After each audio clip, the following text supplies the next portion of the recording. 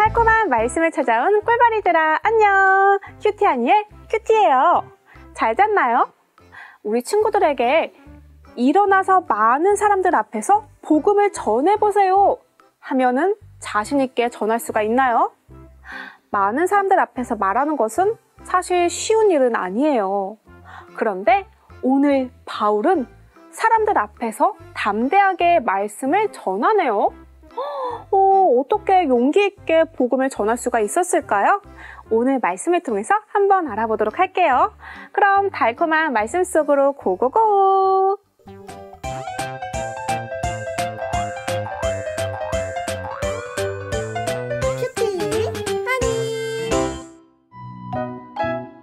복음 전할 기회를 놓치지 않아요. 오늘 말씀은 사도행전 13장 14절에서 16절이에요. 큰 목소리로 함께 읽어볼까요? 안식일에 그들은 회당에 들어가 앉았습니다.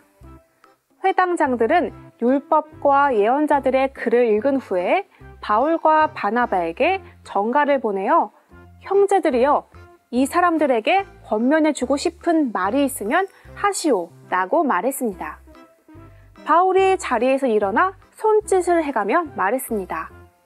이스라엘 사람들 그리고 하나님을 경외하는 이방인 여러분 제 말에 귀를 기울여 주십시오.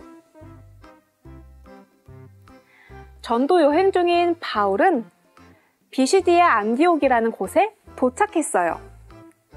안식일이 되자 바울은 안식일을 지키기 위해 회당으로 향했어요.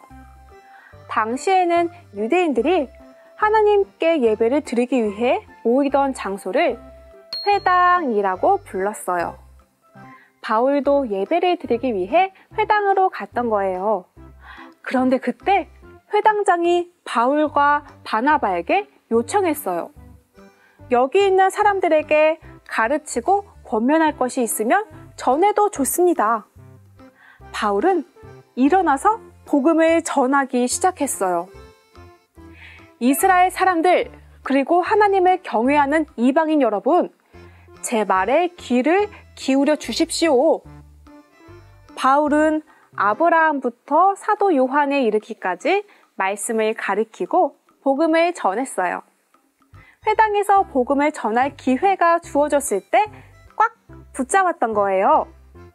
사랑하는 우리 꿀벌 친구들, 우리가 복음을 전할 기회가 있을까요? 우리에게 복음을 말할 수 있는 상황은 분명히 올 거예요. 오늘도 복음을 전해야 하는 사람들을 만날 거예요. 우리가 믿는 예수님을 전할 준비가 되어 있어야 해요. 바울이 말씀과 기도로 준비되어 있지 않았다면 회당장이 사람들을 가르칠 기회가 주어졌을 때 복음을 전하지 못했을 거예요. 우리도 항상 말씀과 기도로 무장해서 복음을 전할 기회를 찾고 복음 전할 기회가 오면 꽉 붙잡아서 복음을 전하는 어린이가 되어야 해요.